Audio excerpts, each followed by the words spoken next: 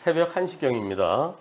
불박차는 저 앞에서 좌회전할 거예요. 신호등은 네 황색 전멸등 좌회전할 겁니다. 아무것도 없어요. 좌회전합니다. 그런데 이런 아이 자전거가 자전거가 스마트폰 스마트폰 하면서 예 앞도 안 보고 검은 옷 입고 아니 자전거 아무런 불도 없어요. 나는 좌회전, 자전거는 직진. 이거 이거 이거를 직진 우선이라고 할 겁니까? 예. 자전거는 직진은 블록chain 좌회전이다. 직진 우선이다. 이렇게 얘기할 건가요? 아, 저 자전거가 앞을 보지 않고 스텔스 상태에서 왔으니까 자전거 잘못이 더 커야 되겠죠. 예. 그런데 이 사고에 대해서 직진 대 좌회전은 그래서 불박차 잘못이 더 크다는 보험사나 경찰은 그렇게 얘기할 수 있습니다. 이 사건 어떻게 됐나요? 제가 한번 볼까요? 그렇죠. 불박차를 그럼 그럼요. 그럼요. 그럼요. 예.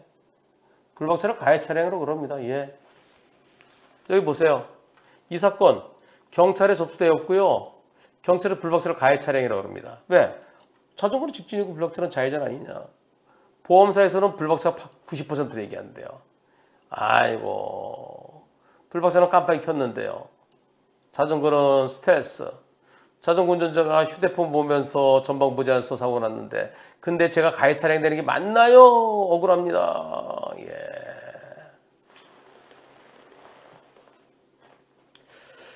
아, 이게 보는 관점에 따라 다른데요. 여기에서 불박차 가다가 여기 왼쪽에 횡단 신호도 없는 횡단보도가 있지 않느냐. 그런 횡단보도 근처로 사람이 건널 수도 있으니까 좀 조심해서 되는 거 아니냐. 그런 측면에서 본다 그러면 불박차 잘못이 더 크다고 볼 수도 있겠지만. 근데 횡단보도는 여기고 여기에서 이렇게 스텔스로 스마트폰 보면서 오면은 형식적으로는 직진대 좌회전이지만은 저건 누구 골탕 먹이려고 완전히 네, 스텔스로 와갖고서 이 사고 지난번에 투표를 해보니까요.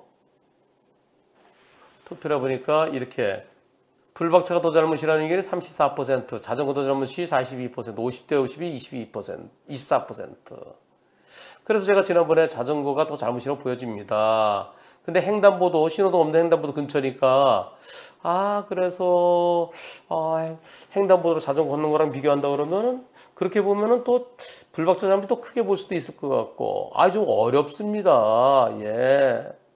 그래서 거기 횡단보도에서 보행자가 꼭 횡단보도로 건너는 거 건너지 않고 근처로 건넜으니까 좀 더 조심했더라면 아쉬움이 있습니다.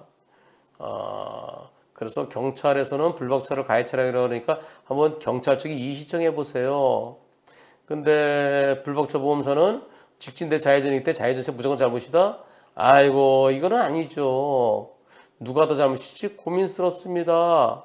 자전거 운전자가 흰색 옷을 입었더라면 이런 상황에 대비해서 예 제가 무언가를 준비 중에 있습니다라고 지난번에 방송했어요. 네.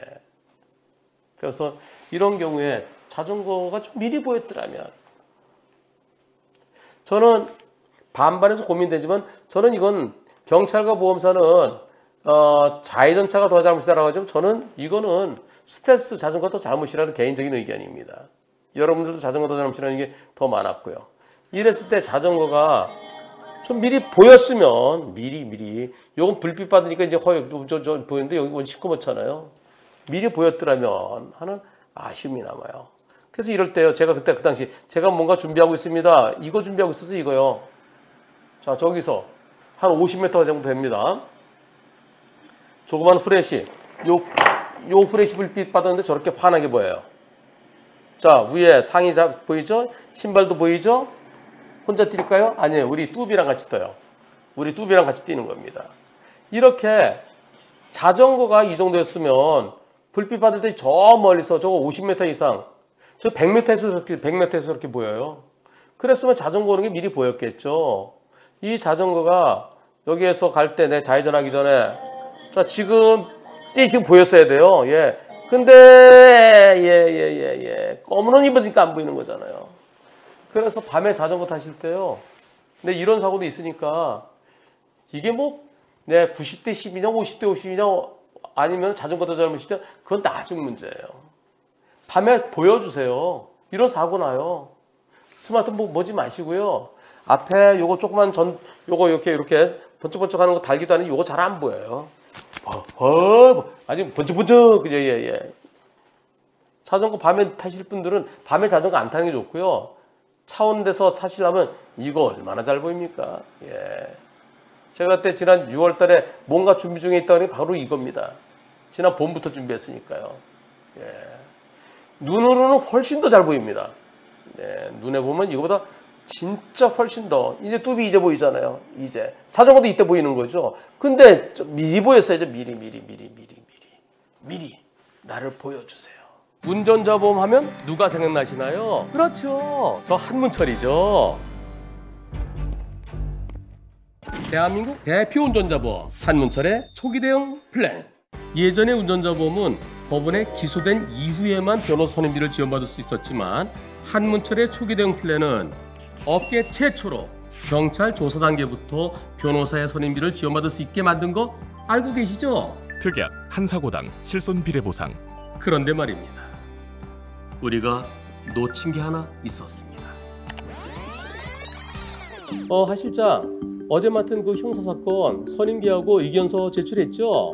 어, 변호사님, 그게 아직 어, 그거 서둘러야 되는데. 변호사 수임료가 아직 안 들어왔습니다. 어, 그 사건 경찰 조사 단계부터 변호사 선임비 지원해주는 운전자 보험 아니었나요? 그렇긴 한데요. 보험사에서 곧바로 선임료를 지원해 주는 게 아니라서 의뢰인이 돈을 빌리러 다니느라 시간이 필요하다고 합니다. 아니, 보험도 가입되어 있는데 돈을 빌리러 다닌다고요? 이게 무슨 얘기죠? 지금까지의 운전자 보험은 내 돈으로 먼저 변호사 비용을 지급하고 나중에 보험사에 청구하는 구조였습니다. 하지만 갑작스럽게 큰 돈을 마련하는 게 쉽지는 않죠. 그런 경우에 대비하기 위해서 운전자 보험에 가입한 거 아니겠습니까? 바로 이 문제점 해결해야 되겠죠? 그래서 이번에도 저와 DB 손해보험이 함께 만들었습니다. 한문철의 초기 대응 플랜은 변호사를 선임하는 즉시 선임비의 50%를 곧바로 지급합니다. 타인 사망, 중대법규 위반 중상의 1에서 3급 시 가입 금액 한도 내 저 한문철이 제 이름을 걸고 만든 초기 대응 플랜 한 번 더 앞서가겠습니다. 지금 알아보시죠. 1644-0070, 1644-007 빵! 보험계약 체결 전 상품 설명서 및 약관을 읽어보시기 바랍니다.